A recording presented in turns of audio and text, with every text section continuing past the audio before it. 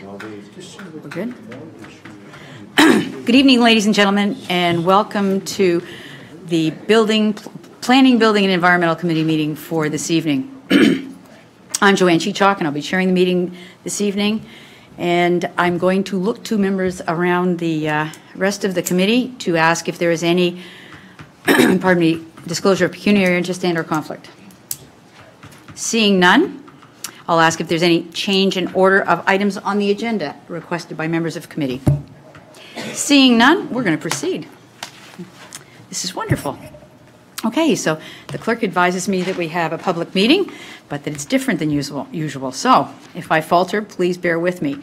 Tonight, we have a public meeting uh, being held to meet the requirements of the Ontario Building Code Act, SO 1992, Circ 23, as amended. Is the township's intent to repeal the bylaw number 2011-64 as amended and enact a new building bylaw which will include a new schedule of fees. Okay? In accordance with Section 7, uh, Sub 6B of the Ontario Building Code Act 1992, we are required before passing a bylaw uh, for regulation or resolution, council must hold at least one public meeting at at which any person who attends has the opportunity to make representation with respect to a proposed change of the schedule of fees. In accordance with Section 7, Sub 6A of the Building Code Act 1992, public notice of this meeting was given through advertisement in the October 18, 2016 edition of the Grimsby Lincoln News, as well as being posted on the township's website.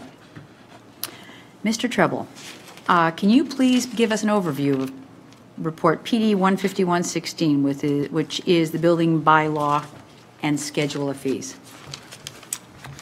Thank you, Madam Chair.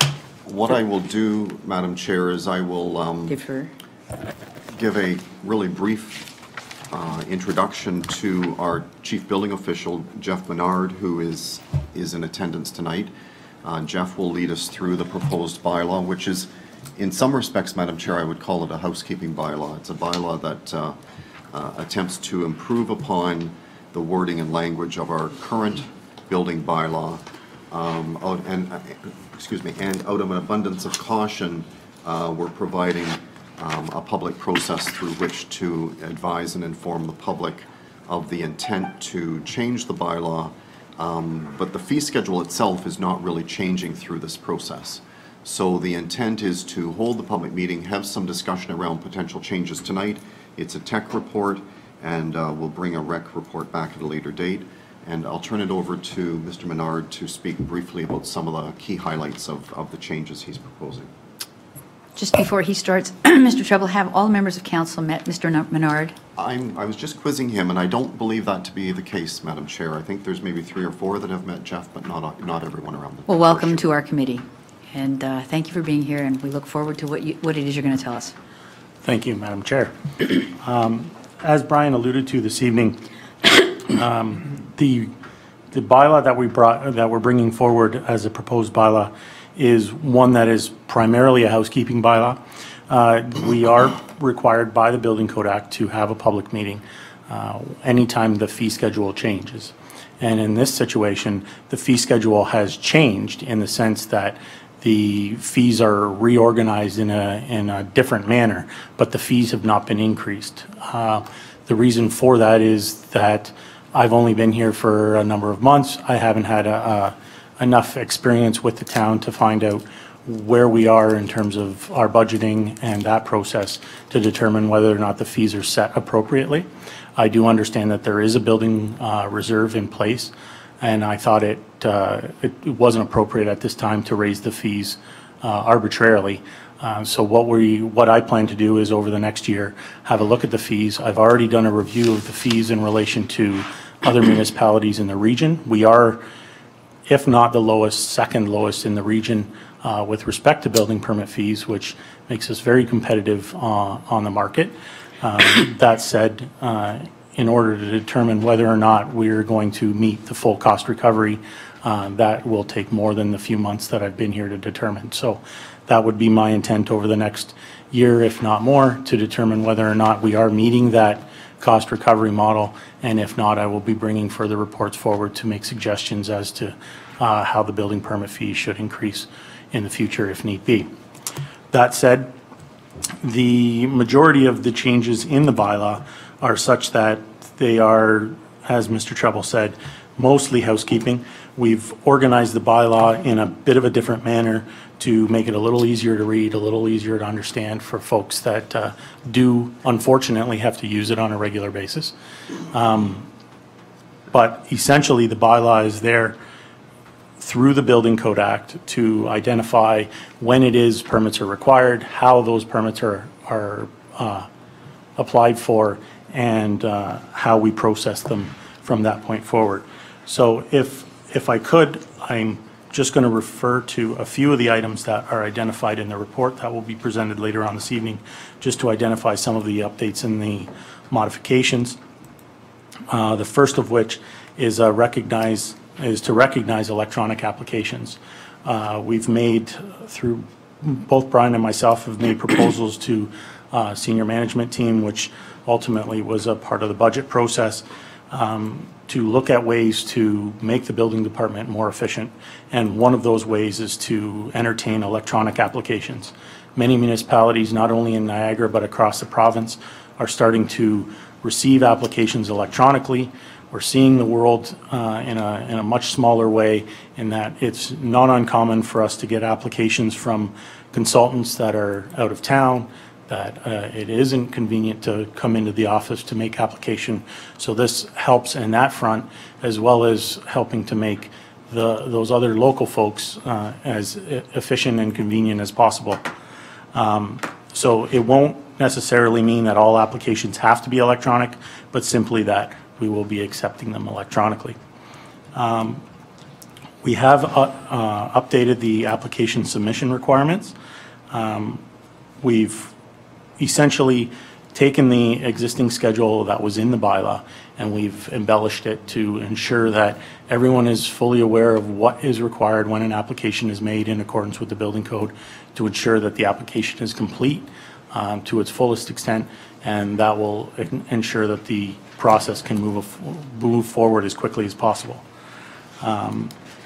Again, just relating to the expanded schedule of fees, there hasn't been an, indication that there will be any increase to the fees, simply a reorganization of those fees. Um, We have introduced uh, perhaps a greater breakdown in certain areas. Uh, One of, one area in specific being the uh, alterations and additions. We've added those sections within the the bylaw to identify um, and more fairly ad- administer those costs. So if they're doing less work, they would pay less fee, uh, and so on. So that is, is really how the, the schedule of fees has been modified. The conditional permit agreement uh, component is similar to the, the language that was previously added to our current bylaw. Um, So we've carried that forward in the new bylaw. And perhaps one of the larger components is, is that of lot grading. Um, What we've done here is, in the past, it's my understanding that there's some history uh, within the township um, to try and curtail the um, tardancy of, of lot grading and it being far longer than, um, than is normal. So what, uh, what the, my understanding is, is that there has been language put into several subdivision agreements to establish rules and regulations for which uh, deposits are taken prior to occupancy um, if a builder wishes to obtain occupancy of a dwelling prior to lot grading being complete. So in conversations with Brian and myself, as well as our uh, legal representation, we've discussed a way to perhaps make it a little cleaner and a little fairer so that uh, all properties that are under subdivision uh, are, are identified through this process, not necessarily just the ones whose subdivision agreements happen to be the newest or most recent. Um, So it's kind of a a catch-all, so everyone's treated the same way and everyone's treated fairly. Um, So essentially what it does is um, it builds on that same requirement that a lot grading deposit will be required in addition to the one submitted at the building permit stage at occupancy if an applicant does wish to obtain occupancy prior to completing the lot grading. Final grading. Final lot grading, yes. Above and beyond that, we've also made some changes to the lot grading um, in respect to the responsibility. The way the language uh, currently reads is that the town ultimately takes responsibility for the lot grading, uh, whether it be accepting the, um, the initial that's submitted with building permit stage, uh, as well as the final lot grading certificate that's submitted uh, several months after occupancy.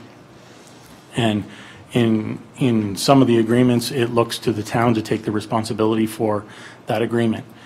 Um, What has started to occur uh, in many municipalities in, in the region as well as the province is that it's being recognized that these drawings, these documents are being created by folks that have professional credentials and qualifications, as they are engineers, architects, and surveyors. They have the professional requirements to do those drawings, as well as the insurance to cover them should something go wrong. So what the initiative is, is to actually shift the responsibility from the town to the actual surveyor or the engineer who's uh, preparing the document to ensure that it does meet the intent of the building code as well as the intent of the lot grading plan.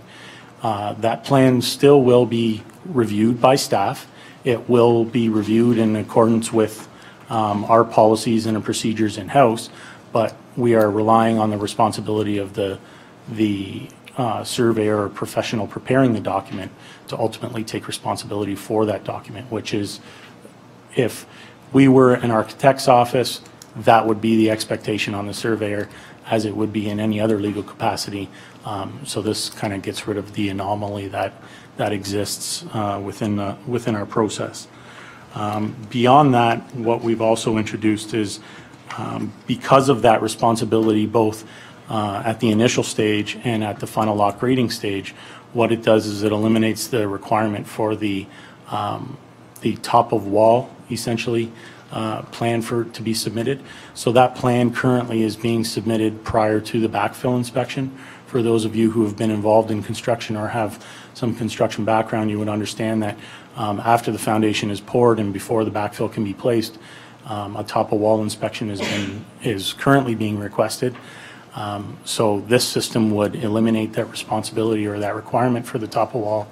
Reason being is there's other opportunities through the lot grading process um, at the completion stage to correct those items. Um, And furthermore, to be quite frank, the request or the process to obtain that top of wall is being challenged by several, uh, several professionals because of the health and safety concerns with, because they actually have to kind of tightrope walk along the top of the foundation wall, which many are, uh, many are refusing to do, making it harder and harder to find someone who will uh, participate and provide that top of wall survey. So again, we're recognizing that, we're trying to be proactive uh, rather than waiting for someone to come forward and say, we're not providing it, we're not going to do it. We're going to identify that and, and uh, make the necessary change now as we update the bylaw moving forward. So that's, uh, there are many other little kind of idiosyncratic changes that have, uh, have occurred within the bylaw, um, none of which I think I will bore you with this evening. Um, However, if you do have questions, I'd be more than happy to answer them. Thank you, Mr. Menard. And at this time, uh, I'm looking to the public to see if there's anyone wishing to make a submission, either oral or written, uh, regarding this new building bylaw and fee schedule. Um, This is your chance to come to the microphone, so anybody wishing to uh, make any comments on what uh, the proposal in Mr. Menard's report, this is the time. If you'll just tell us your name before you start, that would be great, and who you represent. Uh, Madam Chair, through you to the committee members, my name is John Henricks. I'm the Director of Land Development at Phelps Homes. And Mike isn't on. Good? Our clerk is very, very finicky, so you'll learn that okay. it has I'm- to be done right and done once. I've worked with once. a finicky clerk uh, quite recently, so I'm. Shh, don't say that to her. She Oh, gets she was- upset. She was wonderful. She is wonderful. She's uh, still, still there. Um, So I just, I I will be brief. Uh, Phelps Homes is generally supportive of the new bylaw. It's certainly going to provide greater consistency and clarity to the building permit process in West Lincoln. And certainly the electronic uh, fi- filing of applications is, is a positive change as well. We do want to draw attention to uh, the section or schedule dealing with deposits. I have had an opportunity to speak with uh, Mr. Treble uh, previously, um, so he's, he's well aware of some of our comments and concerns. I think they are specifically, uh, we're specifically concerned with the broad application of $5,000 deposits on a per-unit basis uh, to residential housing.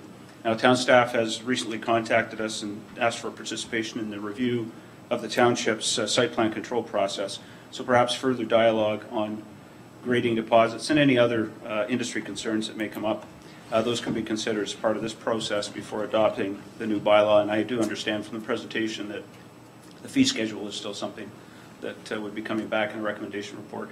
And and again, I think it's, uh, as I believe the staff report indicated something about tweaking. Uh, We we could certainly um, approach the deposit question in in that uh, spirit, I think. That's it. Thank you, Mr. Hendricks. Thank you. Anyone else wishing to, uh, okay, seeing none, I'll ask one more time. Is there anyone else from members of the public wishing to come forward at this time to make comment regarding the, uh, the building bylaw and fee schedule amendments that are being proposed by staff? Seeing none, it's now council, or committee's turn to make comment if there are any. Counselor Bell? Yeah, it's on.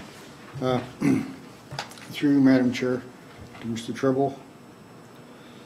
The uh, changes you're making are very positive. I I agree with Mr. Hendricks, they're they're very positive. I just have a question that, are all concerned parties being contacted to have input into it? As Mr. Hendrick alluded to, they have had some input. What about other developers? Are are they being given the opportunity also to have input?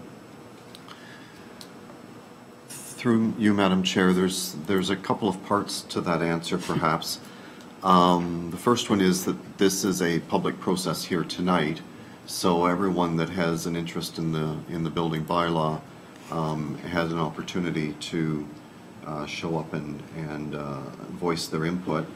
Um, Having said that, in addition to this meeting, um, there is a sort of a separate process that's been underway with respect to lot grading and, uh, and drainage-related issues.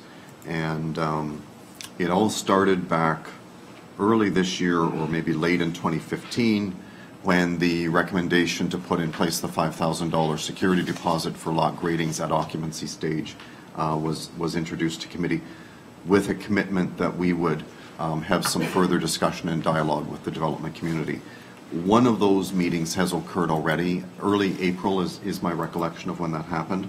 Um, And so since then, uh, Mr. Menard and I, and, and before Mr. Menard, uh, Mr. Newfeld and I have had some discussions with uh, Township Legal Counsel. We're working through, as I think I reported to committee uh, in October, we're working through some changes to the subdivision agreement uh, and the site plan agreement. Those changes, I'm hoping, will dovetail in with the changes that, that were discussed in the building bylaw so that sometime, perhaps as early as next month, we can bring a report back uh, with respect to the building bylaw and how all of the lot grading and stuff uh, will happen. And there will be one last chance for input from the development community as part of that process before that report comes forward, hopefully in December. Uh, And then the final point, as Mr. Hendricks has, has identified, um, there is a separate process underway to do a review of our site plan uh, process from start to finish, and and certainly that kind of dialogue is, is possible at that point as well, Madam Chair. Thank you, Mr. Treble. Good? Anyone else? If you wouldn't mind, I have a couple quick questions, and that is um, with regard to fees and the fact that the appropriateness of their cover- car- carrying them over, uh, or whether or not our fees in place cover your operating costs. Um, I I guess the only concern I have is that the developers that are here or not here tonight, uh, to them, development charges and fees and, and any kind of levies that we, we put upon them are pass-through cost, as long as the house isn't sold. So I really hope, uh, Mr. Menard, that, that you get this done as soon as possible, because anybody who goes out there and starts selling houses, and I'm understanding that there's a number of projects that are underway, we've had them coming to us, they should be ready to go, and they'll have shovels in the ground doing their servicing, and they'll start selling. If they, if our fees are incorrect, the sooner we know them, the better, because that meeting will mean that, you know, there's usually a lift in the agreement with the purchaser, but there a cap on that. So I don't want developers coming back to us and saying, your fees have gone up too high, and now we've got to eat them. You made a very good comment. Our fees are the lowest in the area, so let's make sure they're appropriate. Let's make sure they're sustainable, and if not, tell, tell us sooner rather than later what they should be. Absolutely. Um, To answer your question, Madam Chair, um, in my experience, the way I've, I've approached the raising of fees is, is certainly one in, that will happen in over a pro, process or over a progress of time. Um, That being said, I do intend to start looking at this information in the new year.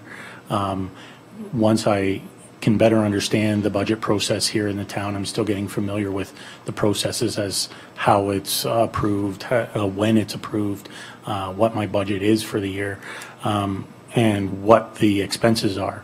We, we have, uh, through Mr. Treble and myself, we have made some presentation uh, to uh, senior management, as I've indicated, recommending a few changes, so we want to make sure that we capture those changes in those fees as well. So that is certainly something that will occur in the new year. Uh, I will bring that report forward, and what my intention would be is if there is going to be a recommendation for an increase in those fees, then what it would be is potentially a phase-in process over a number of years or over uh, a six-month period. Uh, Every six months, they, they increase. And what I would like to do, in fact, is, is give um, not necessarily um, uh, an end number, but a number that, that happens over a five-year period, um, because I think there's value in that. Uh, Just establishing a fee now and then leaving it until the next time we do a review, I think is a little negligent in that um, it leaves us behind the eight ball all the time.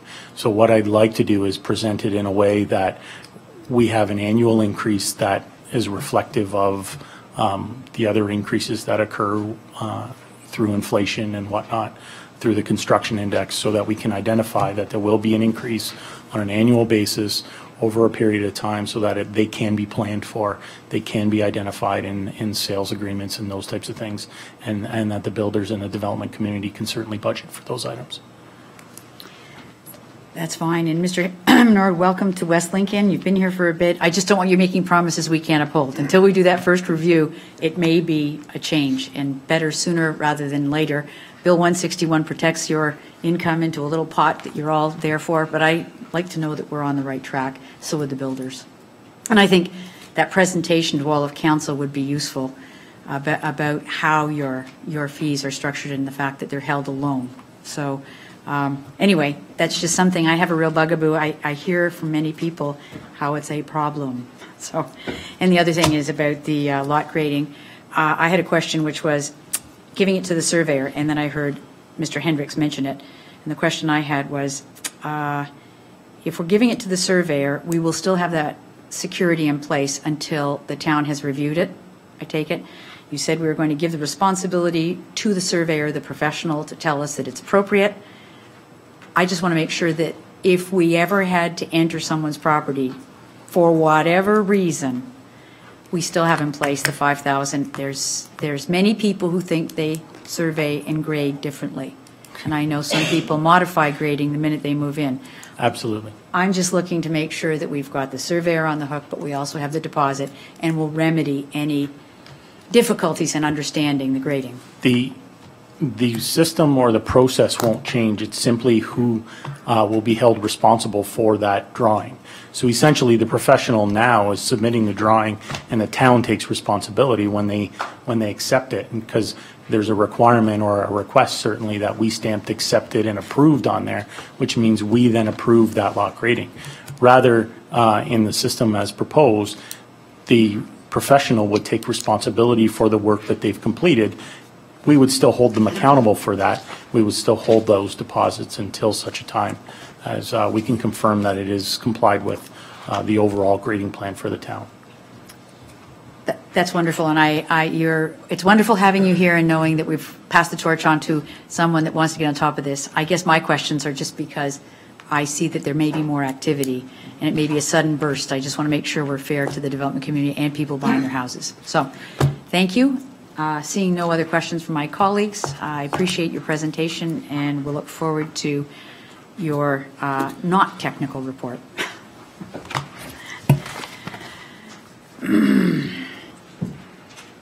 Okay, uh, anyone wishing to be kept informed or notified of the council's decision with respect to the new building bylaw and fee schedule is asked to sign the attendance sheet by the door uh, and indicate uh, that they wish to be notified of council's decisions. Now, remember, this is a public meeting, and uh, I call this meeting complete at 6:59. Okay?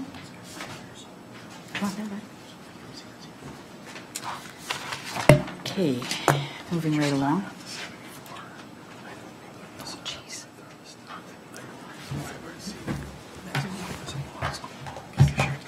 I don't have to, the challenge is, but, hold on.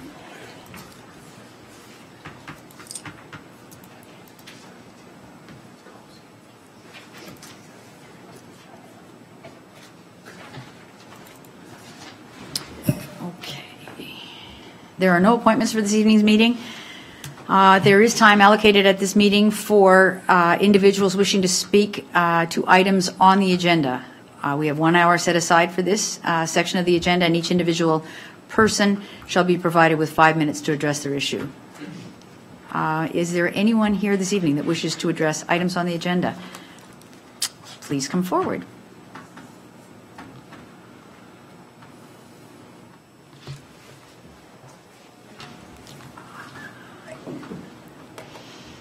Have a PowerPoint to go with it, so Wonderful.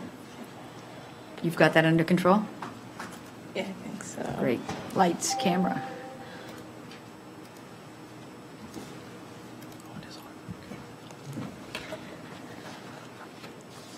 Hey, good evening, Chair, councilors, ladies and gentlemen. Uh, I'm Angela Bonamici from IBI Group in Hamilton, and I'm here to speak on item P 114-16, which we know as uh, the zoning for Old Town Gateway Estates. Um, John Ariens from IBI also is here, and he's more familiar with this file than I am. However, I was here at the last meeting, so just to keep things consistent, I'm going to present to you guys again. And um, I- I'm also here with uh, Anthony Chirella from Marz Homes, and that's another aspect we would like to present to you guys today. Uh, Currently, the subdivision is under conditional purchase by Marz Homes. Uh, Myers Homes is an award-winning builder slash developer who have provided quality homes for Ancaster, Binbrook, Hamilton, Stoney Creek, and Grimsby. And they are really excited now to expand um, their communities to West Lincoln, and they're excited to be a part of a team to help grow the community in West Lincoln.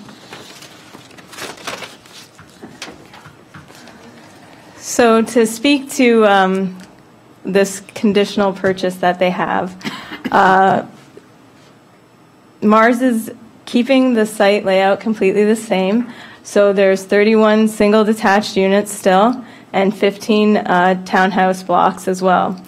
Um, There is a change with the townhouses because with the old townhouse layouts, they were thin three-story units, which had an interior unit of 6.1 meters and an exterior unit of 6.3 meters in width. Uh, Marz's townhouse product is a more traditional two-story townhouse, which has a 6.5 meter interior unit and a 6.6 meter interior unit. Um, So with this new layout, uh, we do require one more additional zoning modification, and that is to the um, ground floor area, and that's to be changed from 84 square meters to 81 square meters. This is due to, even though they are wider, they're not as deep as what the previous townhouses were. With uh, putting in their product into the townhouse blocks, here is our draft plan. And if you can, I know it's kind of hard, but if you can see where the red lines are along the western portion of the property, it's just shifting of those um, block lines to make their townhouses fit. Um, The unit count for this resulted in, we lost five townhouse units, so in total, when we were here last time, it was an increase of 10 units. It's now only an increase of five units.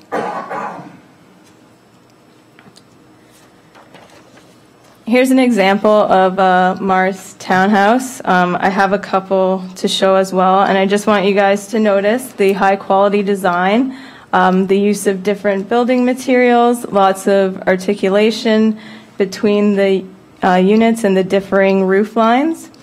Um, Marz is really excited to bring this type of unit to uh, Smithville.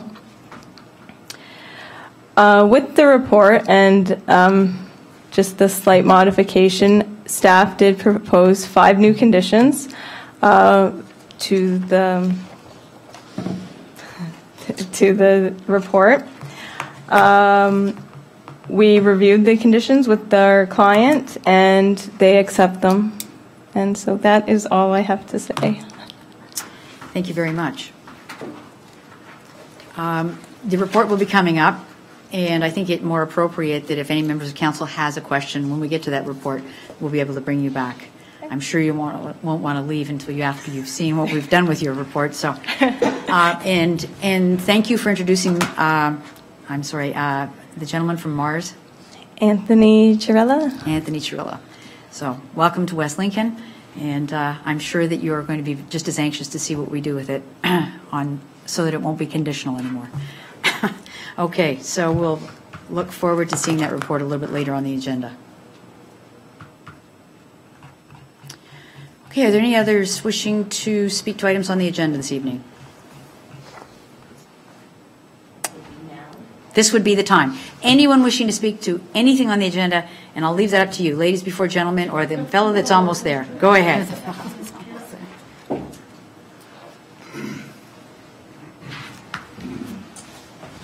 So if I could have your name, the issue you're reporting, you- you're speaking to, and the, and who you're representing, please. Uh, My name is uh, James DeVries from National Building Group.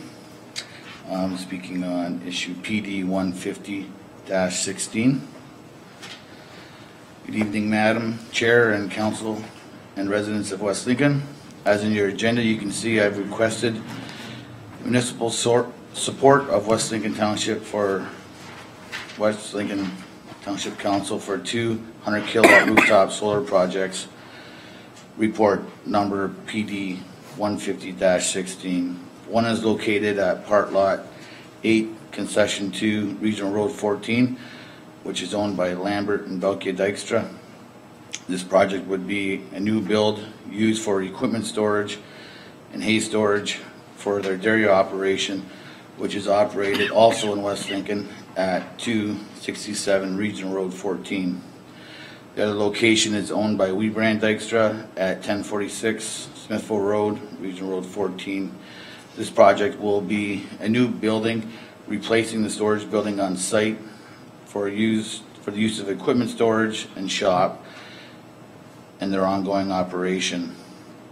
The FEDIF tariff, tariff program was developed to encourage and to promote use of renewable energy sources for all Ontario people, including onshore wind, water power, renewable biomass, landfill gas, solar, for electric, electricity generating projects throughout Ontario.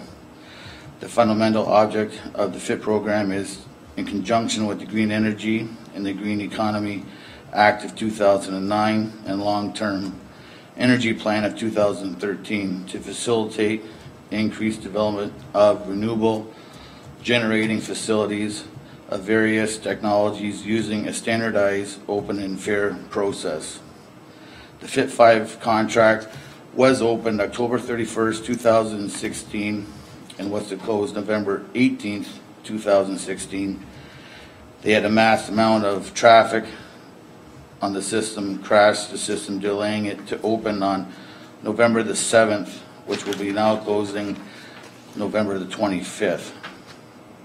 So it's a very short window for opportunity to get the contracts in.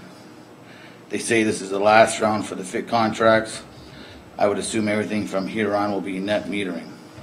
FIT 5 rate is at 20.6 cents, very close to what we are paying now for our hydro, or even higher if you include all your delivery charges that we pay. But the FIT 5 contracts can be transferred over to a net metering system at any time.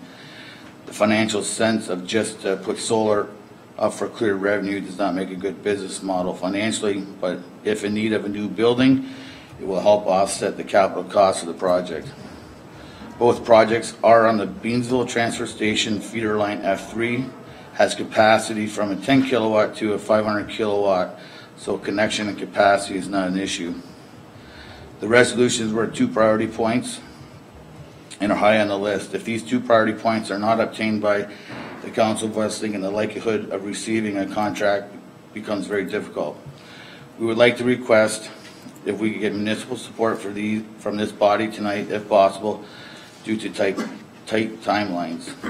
In closing, I would ask the Council of West Lincoln to support these two new projects built with solar at Part Lot 8 Concession 2, Regional Road 14, and at 1046 Smithville Road, Regional Road 14, and Lambert and Belkia and Wil- Wilbring, Dykstra, I'd like to thank you and wish you for your continued support on this project.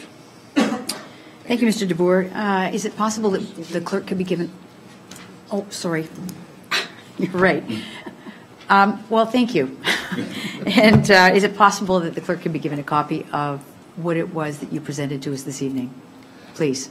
And if you don't have it right now, she'll gladly make a copy. Okay. We'll take a quick break at some point this evening. Okay? Thank you very much. Sorry about that, Mr. DeVries. Okay. Uh, Anyone else? Yes.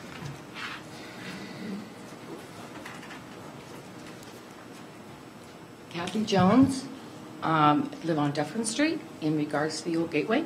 Um, I still have concerns about the 50-foot wide lots since our houses are pre-existing. Um, I still have concerns over the parking. I think the parking, my biggest issue, and I realize my family's not the norm, but my house is the only house I've ever owned. I don't ever plan on moving until I move to that cemetery on the other side. And um, I have a problem with the parking. Um, You have these kids that we want to develop for a nice family area, they grow up, and we have such awesome colleges and universities in this area. And being, I've sent some kids to college and university and have many nieces and nephews, the cost is cheaper to commute. And if these kids grow up and they're 18 and they have nowhere to park, and we don't have public transit in Smithville. Other areas, Toronto, Burlington, Hamilton, you want to go to Mac, you want to go to the other colleges, you can take a bus. You need a vehicle to drive.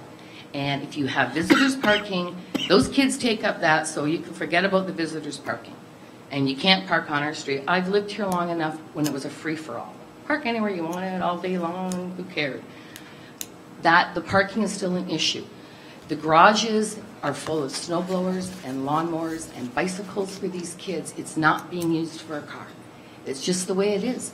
I'm lucky. I have a 50 by 140 foot lot. I got a shed. I can throw the stuff in there. These lots are so small and so jammed, and the backyards are so small, the kids can't play in them like mine did. There's no place for a shed. You're not going to walk a bike through a condo. So parking is still, I think, an issue in this subdivision. The other issues that we, Dufferin Street, there was three concessions we were given 11 years ago. The 50-foot lots behind us to conform with us. We were given that, okay, taking it away maybe. The other issue was, it was to be fenced off from us. It was not, I have a fence, some neighbors on Dufferin don't have fences. It was supposed to be, I wish somebody could find the minutes from 11 years ago. We were promised that the subdivision would be totally fenced from us. It would not be an issue. I- I'm concerned that that is an issue. That fencing was never brought up. The other concession that we were given, we were told they would be affordable, family housing, the houses behind us, one floor. I am now concerned it's going to be two or three floors. My house is quite a bit to the street. I realize they're going to be closer to me. I really don't want, I would like to keep as much privacy as I possibly can. Um, I mean, I've got gorgeous trees that have been planted behind my fence in that field that would not bother with those houses in any way, shape, or form. It'd be nice if they didn't to decide to just go in and clear cut them all because they're right behind my fence. Um, So those are still my concerns as to the promises that were made to us 11 years ago and the stuff that's been taken away from us. I mean, it's only the one side of Dufferin Street. I, um, I lived in this community, I'm not leaving anywhere, and I just don't see why we aren't allowed to have a few concessions as far as pre-existing. So that's all I have to say. Thank you very much.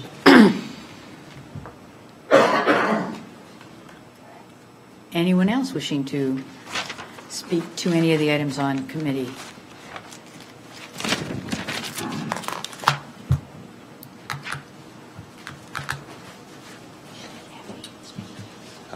Good evening. Good evening. My name is uh, Martin Dykstra. I'm speaking on behalf of uh, Lambert Dykstra and my brother, Weaver. Um, I'm speaking towards the report PD 150-16. Um, My father and my mother are the owner of uh, Lot 8 Concession 2, and my brother is uh, the owner of Lot of 1046 Smithville Road. Um, We would really appreciate your support in the FIT 5 solar contract for our farming operation as we keep expanding and keep modernizing our facility due to the high cost to remain competitive. This will uh, help our farm grow financially while contributing to the province's green energy mandate. We would really appreciate your decision tonight to approve our project. Thank you. Thank you. And if you have a copy of your notes, regardless of how small they are, it helps the clerk when she's doing her minutes, so, thank you. I'm not looking to, uh, to force people to come up to the microphone, just want to make sure we've covered anyone, everyone. Is there anyone else wishing to speak to any of the items on the agenda? Seeing none, I'm going to move on to the consent agenda items. And we have four uh, consent agenda items. Um, One uh, regarding Sean Biss and Sean's auto site authorization, uh, the amending site plan agreement with Smithville Christian Reformed Church, the AT Realty AgriTurf amending site plan agreement for John Deere, and uh, removal of date site, dated site plans from title at 1607 Abingdon Road, now owned by Premier Kosher. And so the resolution would be that Planning, Building, Environmental Committee hereby approve the following consent agenda agenda items, items 1 to 4 be received, and that the recommendations contained therein are hereby adopted. Barring any exceptions, I need a mover. Mayor Joyner, you wishing to speak to those as well? Uh, I would like to pull one, actually, too, but I'd be, I'll get a second, and we'll pull yours. Uh, Second, Counselor Bell. Mayor Joyner, you wish to pull number, number two, Madam Chair, please. Item two, okay, so that will be, item one, three, and four are left as consent agenda items, seeing no other poll. Items to be pulled, all those in favor? Those three items carry, and with regard to item two, uh, it would be recommendation regarding the amending site plan with Smithville Christian Reformed Church. Sir? Thank you, Madam Chair. One quick question, uh, through you, Madam Chair, to the Director of Planning, Mr. Brian Treble. Uh, Mr. Treble, has all of the conditions been satisfied by the Niagara Peninsula Conservation Authority out the back of the property? Through you, Madam Chair, um, staff had a, a chance to have a meeting with the applicant and his uh, agent, or, and their agent, I should say, on Friday. Um, About the only issue really left uh, to sort out is um, the outlet for stormwater from the property. It's historically always flowed uh, westerly off the site onto the adjacent lands, uh, which are farmlands. Um, And both the Conservation Authority, uh, I should say not just both, there's three parties. The Conservation Authority, uh, the region, and, and Township Public Works have asked to have that outlet legalized, basically, so that there is a, a written understanding that the waters can continue to flow west. Um, The proponent's in the process of obtaining that approval as we speak. They're not resistant to it. It's just a matter of, of achieving access to the right individual who lives in the city somewhere that uh, they can then get that proper sign off. I'm hoping that's maybe directly in response to the mayor's inquiry, but certainly that was one of the biggest concerns of the Conservation Authority was legalizing the outline. Thank you, Madam Chair. Uh, Thank you, Mr. Treble, for that response. That's exactly um, the kind of answer I was looking for going forward. And I just want to make one quick comment, Madam Chair. I want to say thank you to your staff, and thank you to the Smithville Christian Church, too, as well, for uh, coming together and finding some common ground. Thank you. Thank you, and I would hope, Mr. Mayor, that you are going to be willing to move that item, because I let you speak out of turn. I don't have a mover and a seconder. So moved by the mayor and seconded by Counselor, wow, the new counselor on the block. I guess you're kind of old now, Cheryl, uh, Counselor Ganann, but welcome again. Uh, We'll second that item. Are there any other people wishing to speak to that item? Okay, I'll, I too want to compliment staff, staff and the members of the, of the church for resolving this issue. I know it's been on the table for a very long time, and I understand, and I've seen some of the renderings, and I'm, a much better, as I said much earlier to someone else in the audience, you know, put two minds together and you get a better product because we don't all have exactly the same, uh, the, the best idea in the house. So glad to see that that was a productive outcome. All in favor? That motion carries.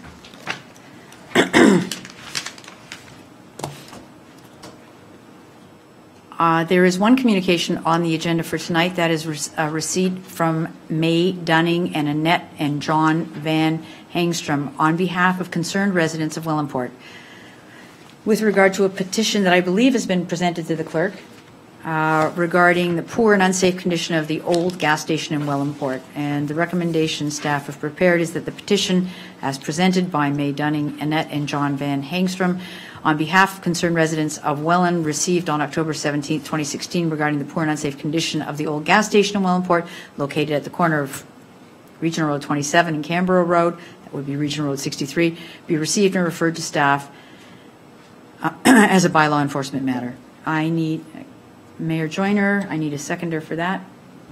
Councillor Trombetta. Did you wish to speak to that? Okay, then, all in favor? That motion carries. Thank you. Okay. Now, moving on to staff reports, uh, we have a report, PD 113, which is a technical report re- regarding the new building issue, and report PD 15116 regarding new building bylaw be received, and that any comments received through the public meeting process and review, be reviewed and taken into consideration when finalizing the language of the bylaw, and that the proposed draft building bylaw be brought forward for adoption at the next council meeting dated December 19th and shall be in effect, force in effect as of January 1st, 2017. I need a mover. Councillor Trombetta, seconded by Councillor Bilsma. Comments? I was beginning to think we weren't going to do that one. No comments. Well, all in favor? That motion carries. Is there an exciting television show? No. Um, Okay, item P114-16 with regard to a zoning bylaw amendment for Old Town Gateway, Smithville.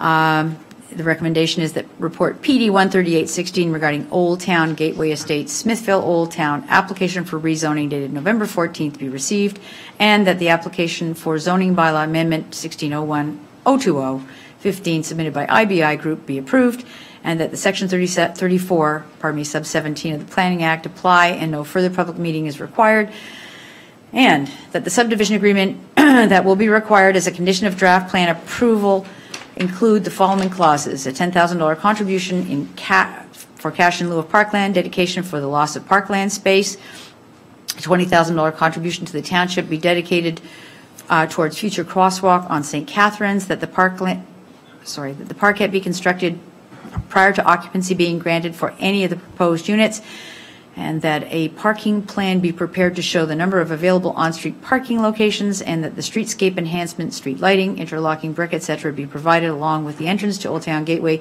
development along St. Catherine Street. I need a mover. Counselor Bell, Mayor Joyner. Okay, uh, anyone wishing to speak to that item? Mayor Joyner. Thank you, Madam Chair. Uh, Just a one quick question, and there'll be, I'm sure, some further dialogue, but through you, Madam Chair, to Mr. Treble. Mr. Treble, the 20,000 B, the $20,000 contribution to the township to be dedicated towards a future crosswalk across St. Catherine Street, will that be asked of all developers on St. Catherine Street? And the parameters there, will it be in the west College Street and in the east to Town Line Road to the potential roundabout? Through you, Madam Chair, I I guess ultimately that would be the decision of council to implement such a condition at the appropriate time, but um, in my mind, the answer would be yes, that we should be asking for cost shares from other developers that come along, along uh, St. Catherine Street. And and there's three that come immediately to mind that that will be developing at some point. Uh, There's a vacant lot to the west of Union Cemetery. Uh, There's the land immediately across the road, uh, the the railway piece on the north side of the creek, south side of St. Catherine Street.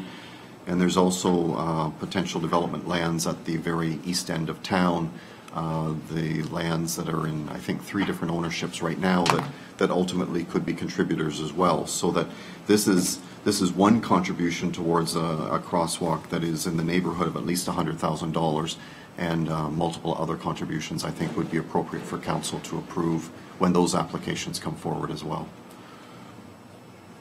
Thank you for that response, uh, Mr. Treble. Madam Chair, that's all the questions I have, but I would like to make a comment, but I want to give um, all the councilors a chance to ask their questions first, please. Sure. Uh, Counselor Bell, Through you, Madam Chair, to Mr. Treble. Just want to clarify, so this development, uh, first of all, I just want to let you know that I'm not opposed to this development moving forward, not at all, okay?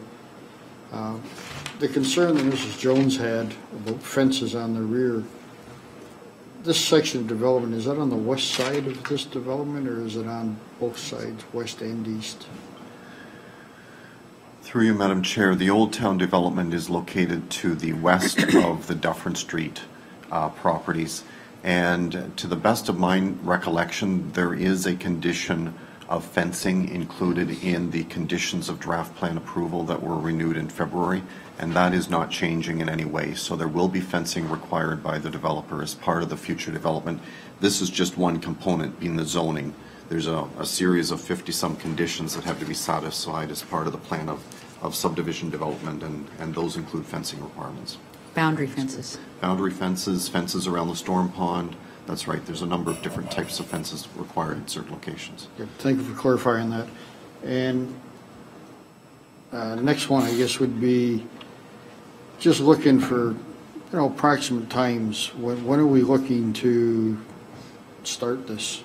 Uh, You know, put a model home out there, start selling real estate, bringing people in for it, and when are we looking to move forward with it? Through you, Madam Chair, that might be a question better referred to um, uh, the agent. Um, I know the conditions of draft plan of subdivision approval must be satisfied by the end of March or some date in March. So I, I, I know the developer and his, his uh, consultants are uh, very familiar with, uh, with that deadline and, and perhaps can speak more effectively to the actual timing of development proceeding. And then there's servicing that will have to be undertaken. Yeah, uh, Madam Chair, by, by the end of March, all 50, whatever it is, conditions would have to be satisfied. One of them is the rezoning that we're dealing with tonight. Another, the biggie, is, is uh, proper engineering plans being reviewed and approved, and they then get implemented through a subdivision agreement. All of that work has to be done by March at the very latest, possibly earlier if the client's intending to proceed quicker than that. But until a subdivision happens, they won't be doing servicing. Uh, Subdivision agreement must be signed, securities in place, then servicing can commence. So to the best, it would probably not, this, none of this will happen until probably later in 2017. But we'll let them decide. Would you like us to have the proponent answer that, or have you got any other questions, Counselor Bell? No, it just seems awful late, that's all. I thought it would be sooner. Anyway, just, I'm glad that he's come to town. I'm glad we're going to move forward with this development, so, that's all. Uh, Mr. Ariens, would you like to clarify what your timeline, kind of just give us a timeline, and these things slip. And Anthony can certainly do that. Great. All right. right. Angela's handing. The future. Good evening, everybody, through you, Madam Chair, and the members of the committee. Um, My name is Anthony Cadell with Marz Homes. First off, I'd like to say thank you. We're pretty excited to be here in this town. Um, To answer your question, we we would like to get uh, get the ball rolling as as quickly as possible. Um, We actually already have our people in the works to work on marketing plans. Um, Obviously, as you know, it's conditioned on on various aspects, but we're looking all into that right now. Um, But if if everything kind of goes according to plan, we'd like to be there as as early as uh, early spring uh, perhaps even earlier with some marketing material. We plan on getting it out there to the public relatively quickly, creating a database. Um, As mentioned earlier from Angela, we, we've been able to amalgamate uh, some sort of database with all our other sites. We have a lot of interest of people that want to come out to this area, so we've got a lot of large, uh, a large base to work with right now, so we can send out notices, put them on notice that, you know, Smithville's on the map, and uh, we're here to stay, so we, uh, we look to do it as as quickly as possible. Just Councillor for Bell? more, Thank you for that. for more technical answer. Oh, um, sorry. Yeah, once, once this gets approved, we can get the calc plan going, the subdivision agreement, and then uh, start clearing the conditions and do the detailed design. So, yeah, we're hoping early spring for it. And shovels in the ground. I have one in my trunk right now. I know, I understand. I do too, but it's for snow. Just so that we don't mislead anyone, because I think this site has caused a lot of misgivings, and everybody's been enthusiastic, but the reality is that this is going to be, you hope to be in the ground 2017. Through you, Madam Chair, I can appreciate, I, I understand the, the history of the project, uh, of the lands. Um, we definitely want to, like I said, make our, make our presence known and start as quickly as possible. Okay. Mr. Chairman, uh, Mr. CAO. Uh, Madam Chair, through to Mr. Treble for clarification. Um, When are they able to um, erect a sales office slash show home? Um, You know, there's that, usually that one unit that, that goes up. When, usually timeline, is it? Off-site. Through you, Madam Chair, the, uh, the zoning bylaw is written in such a way that it allows for a show home now as, as uh, part of any development plan. Um, If it was model units, they would have to be done through the subdivision agreement, but an individual sales office kind of facility is permitted right now through, uh, through a building permit. So uh, the sooner the better. I just want to make sure there's no more questions now that you're there. I, Counselor Trombetta, For the first, for the first time. thank you, uh, Madam Chair. I just, I just got a question. Because it's such a, obviously a a subdivision that was supposed to go a long time ago, and now the, the properties that are on the west, I guess, east side, Dufferin Street, they probably have mature trees, trees that are overhanging on the property line. Is there anything in the plan of subdivision to protect or, or have a tree protection plan or anything in that case? Is anything encroached on that property? I haven't walked the property, so I don't know. So just, I know it's, it's a, um, it was a broad question I'm giving out there, but is, I know we're going to put a fence line, you know, overhang and stuff like that. We want to make sure that the residents don't lose, you know, if they've planted things along the back line of their property or such, right? So is there anything in place for that, Mr. Treble, or? Mr. Treble? I'm just, through you, Madam Chair, I'm just checking the conditions of draft plan approval. I don't recall any condition of a tree saving plan. Um, And, and once, like, like the, cons- um, the counselor, sorry, I haven't been walking the site to specifically know where the trees are in relation to lot lines, but um, there's been nothing identified to date about a tree saving plan that I'm aware of. So can we, can we, I don't know if I have to refer back to staff to get some more information on the, the, because like I said, along that property line, I'm quite sure there's overhang, and, and I don't want to see anything that someone planted, it's, uh, you know, that, uh, Certainly it depends on what That side of has the fence it's on.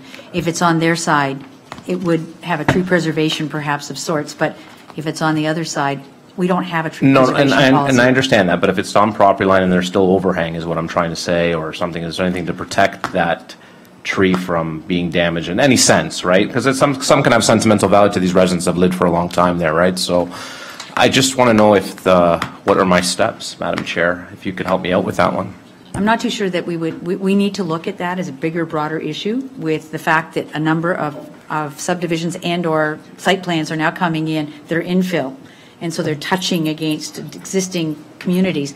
And it, it's very, very prudent for us to take a look at tree preservation bylaws and, and uh, hoarding, et cetera, that should be put around existing trees that borderline fences. But uh, to the best of my knowledge, correct me if I'm wrong, Mr. Treble, but I don't believe West Lincoln has anything of that nature, or the region.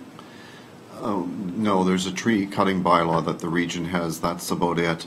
And it, of course, is exempt once you're into a development plan such as, as what's before us here. So there is nothing certainly in place at present that would uh, require preservation. I can think of one property where there was a preservation uh, condition attached, and that was the, t- the uh, crossings on the uh, 20 development south of the creek north of town line. There was a preservation plan attached to that Right. plan, but that's the only plan of late that I'm aware of that's had such a plan attached. So to allow Councillor Trombetta to get uh, a concern addressed, the, it would require us to refer this back to staff to look at a tree preservation program. I'm seeing the members move along here, because I don't, we don't want to see this re- referred back to staff. And and quite honestly, we might be dealing with something that is non-existent, because they may actually be scrub kind of trees that no arborist would want to see preserved.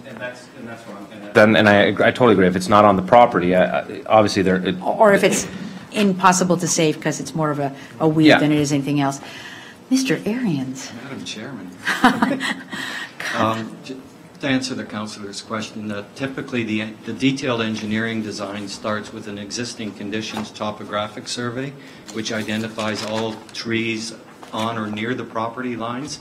Um, As part of normal engineering, we have to match grades at all property lines surrounding the development. So if there are any trees that are in close proximity to the boundary lines, they're identified. Typically, proper hoarding is put in place so that we don't disturb the root zones and that the subdivision proceeds from there on. So it it is something that we typically do look at with every subdivision, even without having a tree preservation condition attached. So rest assured, it will be addressed as part of the detailed engineering. So Councillor Trombetta, it is a question that you should actually throw back at staff as well. It's a very good point, and as we move forward, people are going to be very concerned about trees. West Lincoln, our predecessors kind of took a lot out because they would rather farm. So it's something that you may want to bring up at another time. Yeah, thank you, Madam Chair. Okay. Are there any other questions? Right, I just have one thing, and that is that I'm, I'm delighted to see that you are, that the proponent is willing to put in uh, the park, the parkette uh, ahead of time. It saves on the mess and inconvenience to people and delays of usage of the park when it's, when it's uh, put in at the very end. And quite frankly, it is a selling feature because people then see the park. Um, I, I just wondered if this parkette is designed to have any equipment in it. Through you, Madam Chair, I don't believe there's anything in the capital budget as of yet with respect to this parkette. It would be something that would be deliberated on through budget sessions in the future. The, the only thing I would like to see, and I'm not going to impose it all, because I don't want to see this stop, but the thing is, we need to start establishing standards for parks, parkettes, and various, our community parks. We need to put them into our development charges, but we need to get the developers to put them in and complete them, complete with equipment. We should build the standards. We tell you we want a monkey bar that looks like that, of that quality, but we should have it all done, rather than disappointing people and chopping up a park afterwards. So um, what I'd, what I'd like to see happen is if this park is going to be uh, uh, completed, that if there is equipment that was going to be put into it, and it is in our budget, and it is in the development charges, you know, when you're doing the park, I'd like to see cooperation between the developer. I know Marz from other communities, I know you do this, so I'd just like to see us be able to start doing that here. And these are things, like Councillor Trombetta is bringing up in, in this item, that we need to start putting into our, our conditions to make sure that we are going to get completed subdivisions, completed site plans without anybody waiting or delinquency that we're going to argue over at the end. So, fair warning? Great. Uh, We'll look to have your cooperation. Anything else? Councillor uh, Mayor Joyner, you have a comment. Thank you, Madam Chair, and I too, uh, Anthony, are very delighted to have Marz Homes here in West Lincoln. Um, For far too many years, this property has been flipped far too many times, and we've got our hopes up and only to be dashed by something that's, that's come along. So um, I'm very excited to, to know, and, and, and I believe the mem, like many members around this horse are very excited to see that there's actually something that's going to, to happen with this product or with this property. And I've seen some of your product. It's very exciting. So I'm very much looking forward to um, your development here in West Lincoln. I, I think it's very important that, uh, E, that the streetscape enhancements, um, we'll be looking forward to see what you want to bring in as far as street lighting, your interlocking brick. Uh, uh, Personally, myself, I believe that there should be some kind of gateway coming off of Regional Road 20 into this property, something exciting, something that's saying that you're, that here is the latest development that West Lincoln has to offer. There are many different areas that West Lincoln has to offer, but this will be the latest one. So I'm looking forward to that. I'm very excited to hear that the, you know, that your, your planner, Mrs. Bonamici, has, has said that uh, the $20,000 contribution to the township where it concerns the future crosswalk, that's good on you. That's good planning. That says that your company is is and does know about other policies and things that are happening here in this township, like our environmental assessment on Regional Road 20. It says that you put safety first in our community. And although it won't be just your people or the people that buy your your property that will be using this, it'll be all the people of West Lincoln that'll be using this crosswalk. It says that that your company is standing up to the forefront and making sure that safety is, is paramount. So I, I, I commend you for, uh, I, and I commend the planning staff and, and uh, Madam Chair for, uh, for bringing that forward. Um, again, very excited, uh, looking forward to, to many years of working together with Marz Homes and uh, like the rest of the councilors around here, uh, we're really looking to get that shovel out of your trunk and get it in place, get it in play. Thank you.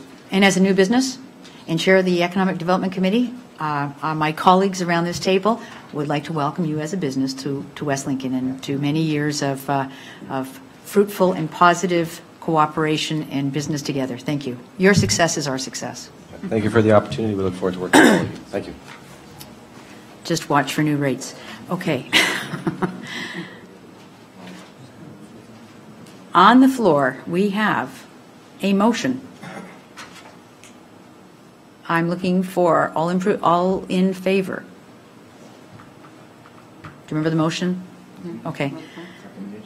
The recommendation. Uh, Those against? Okay, that motion carries. Okay. Thank you. Um, Is there, uh, is there one for a two-minute break? I, I saw that kind of uh, look in some people's eyes. So we'll, we'll stop here for a minute and just call a short recess to allow everybody two minutes to uh, do what they have to do.